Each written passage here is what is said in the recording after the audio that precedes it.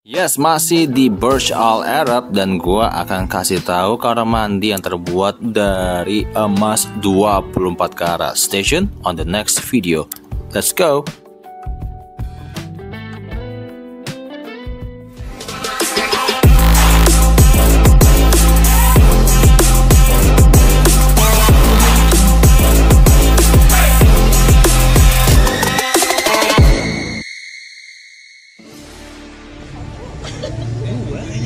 Hai guys, welcome back to the Tobi's Family Channel. With me Bapak Devi yang selalu memberikan informasi tentang tempat-tempat kuliner, wisata, dan staycation untuk kita semua. Masih dari Burj Al Arab dan kita sudah sampai di depan gedungnya dan memasuki Burj Al Arab. Mau tahu lebih lengkapnya seperti apa? Tonton terus The Tobi's Family Channel. Jangan lupa untuk subscribe, like, dan komen The Tobi's Family Channel. Let's go!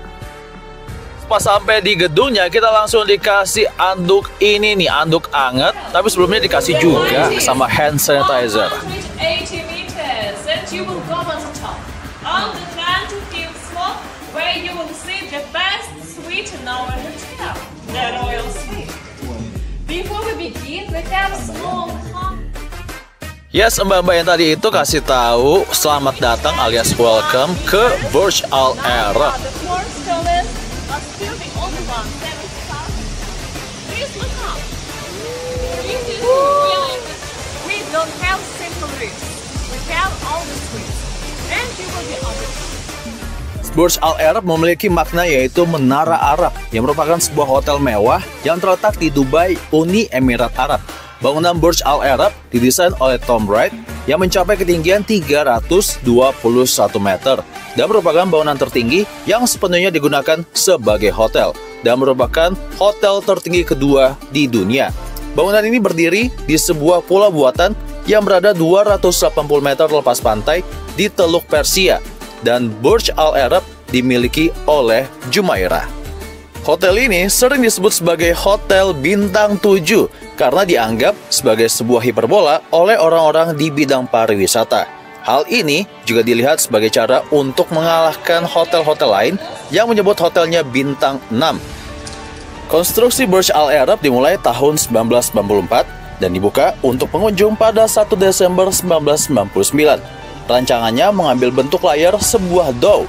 Dekat dengan puncaknya terdapat sebuah helipad dan restoran Al Muntaha yang berarti tertinggi dalam bahasa Arab. Di sisi seberangnya yang ditahan oleh cantilever di atas laut. Salah satu elemen yang unik adalah dinding atrium yang menghadap ke pantai terbuat dari kain fiberglass yang dilapisi teflon. Interiornya didesain oleh Quan Chiu. Burj Al Arab juga memiliki atrium lobby tertinggi di dunia setinggi 180 meter. Atrium tersebut dapat melingkupi gedung World Trade Center Dubai yang setinggi 38 lantai dan bangunan tertinggi di Dubai dari akhir 1970-an sampai pertengahan 1990-an. Nah, sekarang kita udah sampai ke atasnya ini nih. Kita mau lihat atau room tour dari kamar yang sangat-sangat mewah. Wah, pasti bakal mewah. Tapi seberapa mewah sih kamar-kamar yang bakalan kita kunjungi itu? Hmm, sebelum kita mengunjungi kamarnya, kita dengerin dulu yuk. Apa kata dari mbak-mbak tour guide yang ada di depan itu? Let's go.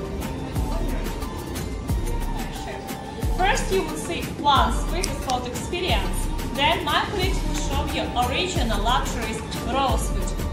From this moment, you can have as many pictures, videos as well as 27 floors in total.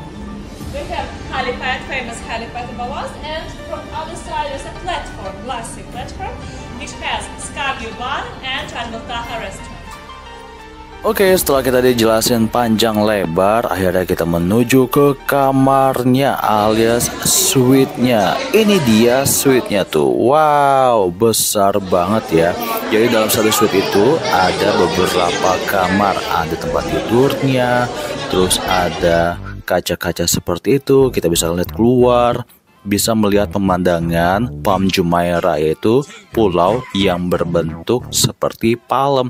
Nah, di sini itu adalah grand design dari yang ada di sini nih. Tuh ada juga baju-bajunya seperti ini nih, tuh. Yang benar-benar amazing itu adalah pemandangannya yang sangat-sangat-sangat mewah, sangat-sangat indah seperti itu tuh. Tuh, nah sekarang kita menuju ke daerah yang sebelah sini. Ini adalah akuarium seperti itu tuh. Ini bukan akuarium beneran, tapi akuarium yang seperti itu. Masih amazing dengan view yang ini nih. Wah, itu sih view-nya gila banget sih. Bagus dan benar-benar menakjubkan, amazing. Terus kita menuju ke room ini. Di room ini ada mobil F1 seperti itu tuh. Terus ada juga barang-barang antik dan barang-barang yang dipakai oleh pesohor-pesohor dunia. Ada juga iPad yang terbuat dari gold tuh, dari emas dan jersey-jersey bola dari pemain bolanya langsung dengan tanda tangannya. Pokoknya memorabilia banget deh itu tempat yang tadi tuh item-itemnya. Oke, pas kita masuk ke room ini kita bisa melihat grand design dari Burj Al Arab ya. Moving on ke sebelah sini kita bisa melihat tuh yang foto-foto. Terus kita ke area yang sebelah sini ini ya kan. Kita pas masuk dikasih kurma sama kopi Arab yang rasanya itu berbeda banget sih kopinya kayak kopi sepet-sepet gitu guys beda pahitnya dari kopi Indonesia. Ini dia pemandangan dari Palm Jumeirah atau Palm Islandnya. Terus sekarang kita menuju ke suites yang satu lagi. Nah ini masnya lagi terang ini. Some may arrive with our Rolls Royce, which is parked downstairs in the lobby, and some they are helicopters. The helipad is just two floors above us. So before we step inside, just remember that it costs an average of 25,000 US dollars to stay here. So guys, yang gue highlight dari omongan dari Mas yang tadi itu, untuk menginap di sini tuh sekitar 25.000 dolar semalam. Royal Suite. My name is Moom. I will be your royal butler throughout your journey. And it is my job to make you feel like superstars. Cool. Your camera, so feel free to take as many pictures as you wish. The only humble request I have, we are not allowed to sit on any furniture. Nah, kita moving on ke suite yang ini. Suite ini sangat-sangat-sangat mewah sekali. Ada beberapa peralatan yang terbuat dari emas dan sangat-sangat mencengangkan. Nah, sekarang kita room tour dulu yuk. Apa aja yang ada di suite ini? Let's go. So kata emasnya, suites ini tidak disewakan lagi, cuman untuk tour atau visit ya kalau kalian datang ke Burj Al Arab cuma mau melihat isi dari kamar ini. Dan yang sangat mencengangkan TV-nya itu terbuat dari emas pinggir-pinggirnya tuh. Tuh.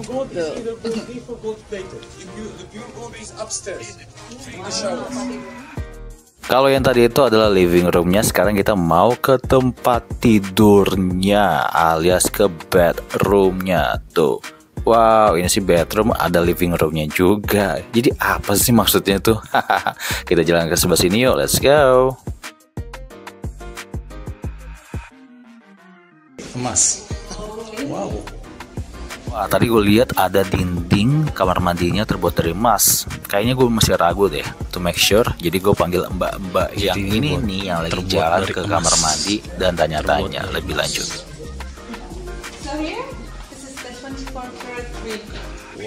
All gold. Yes, all gold. Ini semua emas ya. Iya. Coba tanyain berapa karat. How many carats? 24 karat. 24 carats. Wow. So whatever you see, you are seeing in the room is either gold plated or gold leaf. Only in the washroom is the real gold. So kata mbak-mbaknya itu semua yang tadi itu terbuat dari emas yang ukurannya atau kadarnya 24 karat dinding-dindingnya terus kerannya ini juga pintunya dilapisi to oleh the karat. Wow.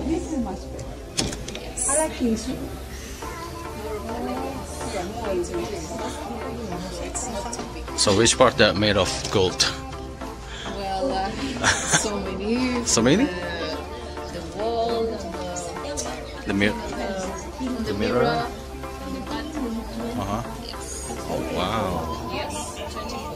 24 carats.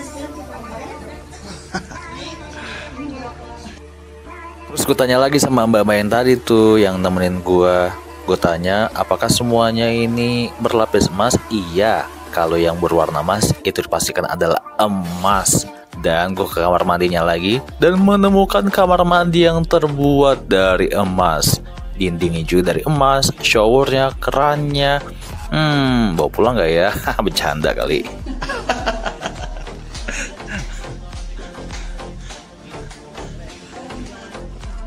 Gila guys, bener-bener amazing, speechless. Have you seen like things made of gold? Itu tadi gue udah lihat. I just witnessed that. Sekarang gue pengen nanya-nanya lebih banyak lagi ah sama petugas atau mbak-mbak yang tadi. Let's go. One night in this room. Ah, it's actually one suite. One suite. Yeah, okay. so you How much? don't you don't just take one. Take the whole thing, and it's uh, twenty five thousand dollars per night, and the minimum is four nights. That's the standard. So roughly hundred thousand the minimum, because it can go up to thirty five thousand dollars actually. So who has been? Everything is included: the private chef, own meals. Wow. You really don't need to move around in the restaurants. So has is inside. who has been in this in this room? Well, quite a lot. Mostly celebrities, uh, Such some, as? Such as Justin Bieber. He actually posted a video. down Justin. Bieber? Yes.